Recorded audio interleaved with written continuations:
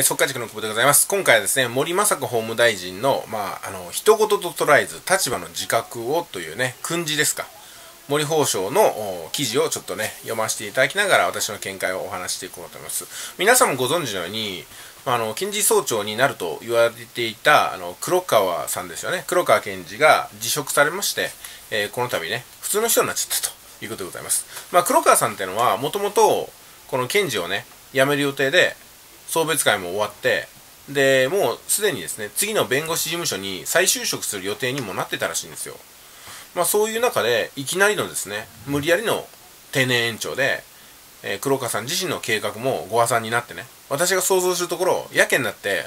もうやってらんねえよみたいな感じで麻雀やったのかなっていう気はするんですけどもね。まあでもね、麻雀ってすごく面白いんで、これ麻雀の常習性がない人っていないですよ。うん、ただそれを常習性を持ちながらも社会生活とかね家族とか友人関係にダメージを与えてなければ全然、あのー、常習性があってもいいと思うんですよね。皆さんどうですかね？釣りの上手な方とか釣りが大好きな方とかね。私みたいに漫画や映画が好きな方がいるとするじゃないですか。で家族とか社会生活とか仕事に迷惑かけてなければどれだけ常習性持ってもいいと思いませんか？そういう意味で言うと、黒川さんっていうのは私はね、麻雀に関しては肩を持ちますけども、黒川さんがいくらね、麻雀の常習性があろうとも、この検事総長直前まで上り詰めたっていうことを考えたら、麻雀の常習性すら持たずにやってきた方が全然出世できないとかね、まあ凡庸で終わってしまうってことを考えると、どっちが社会的に価値があったのか、意義があったのかなってことを差し引くとですね、麻雀の常習性などね、検事総長をここまで上り詰める。これまで、ここまで話題になれるようなね、力があるエリートの黒川さんに関しましては、麻雀の常習性などはね、追求するに値しないと私は思いますね。まあでもね、法律は法律なんで、従ってもらいたいところもあります。えー、となると、これはね、賭博罪に当たるのかどうかってことですけども、これね、現行犯でも何でもないんで、賭博罪に当たるのかなと私は思うんですよ。あの、私も麻雀店を経営して、はい、私もね、もともと麻雀店を経営していましたけども、まあだからといってね数年経ってお前は麻雀店を経営してたから賭博会長取りだっていう風に、えー、捜査が入ったりとかそれを立件することって非常に難しいと思うんですよ。うん。やっぱりだからあの博打っていうのは基本的には現行犯主義なんだろうなと思うんですよ。現行犯主義で現金が卓の上に乗っていたら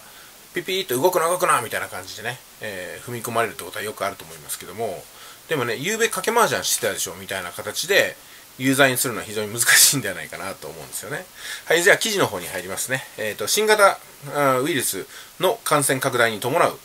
えー、緊急事態宣言中に新聞記者らと掛け麻雀をした黒川博夢なんですけども、あの、あれでしょ？緊急事態宣言中に友達の家で外出するなって言われてる時に外出したのに当たらないと思うんですよ、これもね。うん、なんかちょっとごっちゃにしすぎてるのかなと思います。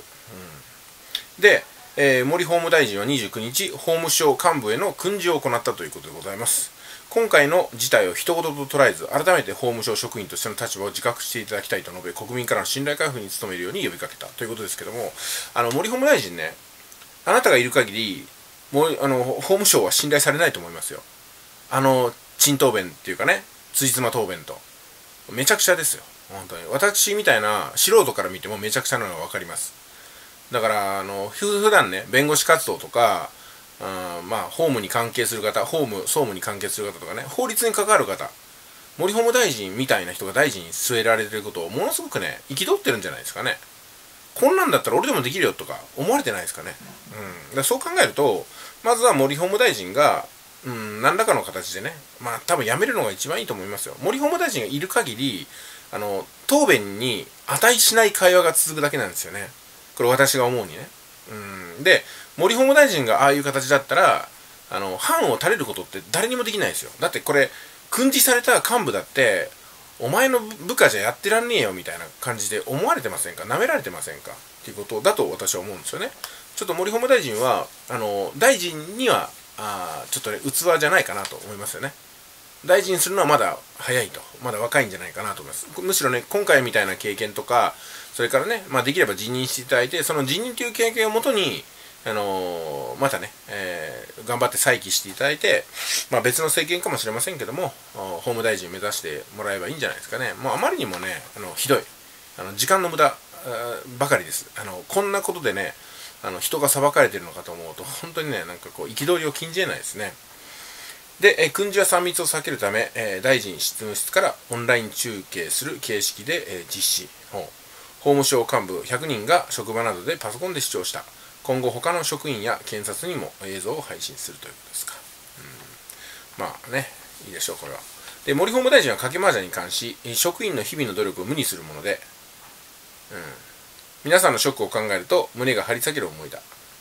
本当ですかね。私自身強い憤りと責任を感じるということで責任感じてるんだったら責任をそのままね果たしていただきたいと。要するにあなたのその椅子から降りるということでねもっと有能な人を探してきてもらいたいと思います。もともと黒川さんっていうのはあの唯一無二の人でどうしてもこの人じゃないとできない事案があるってことで勤務延長無理やり法解釈憲法解釈をねじ伏せてやったわけじゃないですか。なのにいざ黒川さんが辞めてみると後任が見つかるというね。やすやすと見つかるというね。何ヶ月も黒川さんじゃないと何ヶ月も黒川さんじゃないとって言ったのに黒川さんが辞めてしまったらもうねもう本当に1週間ぐらいで見つかっちゃうみたいな。何なんですかねこれって。もともとだから黒川さん延長しなくてもできたわけなんですよ。だからもうめちゃくちゃですこれは。あの口頭決済したりとかね。人事院の人に、まあ、嘘の答弁をさせたりとかね。うんもうちょっとねやってらんないですよね本当にね。あの法治国家とは言えないと思いますし森法務大臣自身も多分大臣っていう立場とあの森雅子さんっていう人格があってもう別々になっちゃってるんですよね。大臣の席に座ってる間はもうこのまま行かないといけない。でももう一人の真実の森雅子さんは森法務大臣という人に対してものすごく疑問を持っていてものすごくねストレスを感じていて自分の本来の人格と大臣という人格がねどんどんどんどん乖離してることに、うん、本当はねあの熟知たるものがあるんでしょう。これ真面目な人ほどこの乖離には耐えられずにあの赤木さんみたいにね、えー、命を絶ってしまうってこともあると思います。でもある意味ね組織の一員なんだっていうふうに自分を言い聞かせることによってあの今の帰りをうまくやっていっちゃう人もいるんですよね、まあ、森法務大臣はもしかしたらそこまでうーんなりきれないのかもしれません。だから精神的に参ってね、えー、まあ、なんかの病気になったりとかもう精神崩壊したりとかならないようには気をつけていただきたいなと思います。私はねあの大臣としての森法務大臣はあの器に値しないと思いますけども森雅子さんって人に対して人格に対してね嫌ったりとか攻撃するつもりは全くないんですよね。私はそういうふうに考えてるんですよ、まあ、私などがねどう考えてもあんまり関係ないと思いますけどもね、まあ、有権者の一人として納税者の一人として率直にこの動画で、えー、まあ勝手なことを言わせてもらいます、うん。で森法省は信頼回復に向けた取り組みとして、えー、法務検察行政刷新会議を設置する方針を示しており議論のテーマやメンバー構成など調整を進めているということなんでここなんですよ。だからこういうね新しい会議を作るのはいいんですけどもこの会議のメンバーを森法務大臣が選んでいたらこれダメなんですよ。こんなことやっていた。結局はあの自分の都合のいいようなね後調査ができたりとか自分の都合のいいようなことを辻褄合わせてくれる人を集めるわけじゃないですか。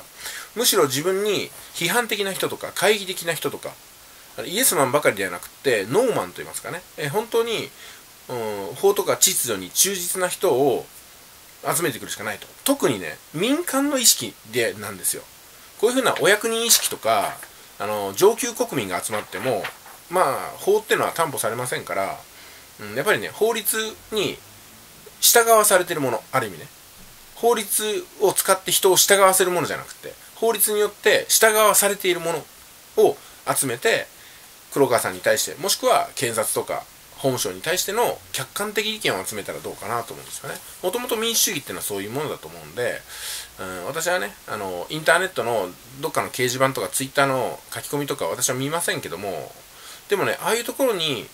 本当の国民の声が、まあ、言葉遣いは汚いですけどもね、でもそこに真実と知恵が隠されてるんではないかなと思うんですよ。うん、今、ツイッターとかね、SNS 使ってる人は本当に多いと思います。で、その民主主義っていうのは、何を使ってる、何が多数派かっていうことだと思うんですよ。もともとは、ツイッターやインターネット、SNS っていうのは、少数派が使ってたもんですけども、まさにね、革命っていうのは少数派が多数派になる瞬間のことを言うと思うんですよね。まあ、ですんで、一部の権力を持ってる人が、その、一部のまんま全体を支配するんではなくて、一部の方が多くの方をね賛同を得て、えー、多数派になっていくその瞬間をこの法法律の世界でも見たいなと思ったりなんだりするわけですけどね。うん、まああの結論ね。森さん森雅子さんはあのまた弁護士さんとして一生懸命やればいいんじゃないですかね。きっと行政処理能力高い方だと思うんですよ。答弁が下手なんですよね。答弁がね。うん。答弁は小川淳也さんとかに学んであと山添拓さんとかね。